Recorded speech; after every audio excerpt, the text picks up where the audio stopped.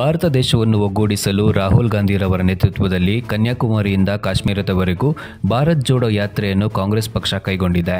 ಈ ಯಾತ್ರೆ ಹದಿಮೂರು ಮತ್ತು ಹದಿನಾಲ್ಕನೇ ತಾರೀಕಿನಂದು ಚಿತ್ರದುರ್ಗ ಜಿಲ್ಲೆ ಮೊಳಕಾಲ್ಮೂರು ತಾಲೂಕಿಗೆ ಆಗಮಿಸುತ್ತಿದ್ದು, ಮೊಳಕಾಲ್ಮೂರು ತಾಲೂಕಿಗೆ ಆಗಮಿಸುತ್ತಿರುವ ಡೈನಾಮಿಕ್ ಲೀಡರ್ ರಾಹುಲ್ ಗಾಂಧಿರವರಿಗೆ ಆತ್ಮೀಯವಾದ ಸುಸ್ವಾಗತ. ಸ್ವಾಗತ ಕೋರುವವರು ಜಿ ಸತ್ಯನಾರಾಯಣ, ಪ್ರಥಮ ದರ್ಜೆ ಗುತ್ತಿಗೆದಾರರು ಎಲ್ಐ ಲೇಔಟ್ ಮೊಳಕಾಲ್ಮೂರು.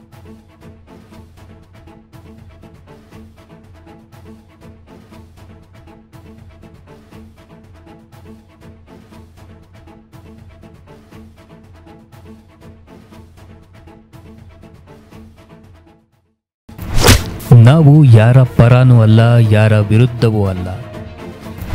ಸತ್ಯ ಹೇಳಲು ಎದರಲ್ಲ, ಸುಳ್ಳು ಸುದ್ದಿ ಪ್ರಸಾರ ಮಾಡಲ್ಲ. ಎ ಟು ಝೆಡ್, ಇದು ಸತ್ಯದ ಧ್ವನಿ.